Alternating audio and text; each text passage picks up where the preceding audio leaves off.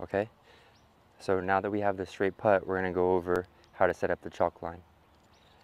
We have the chalk loaded up.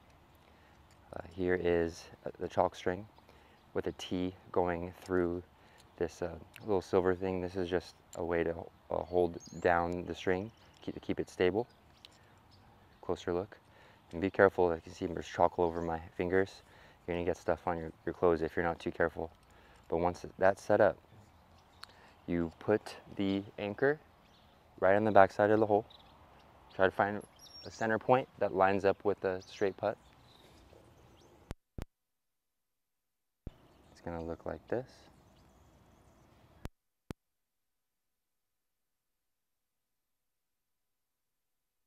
And, and make sure it doesn't touch the ground.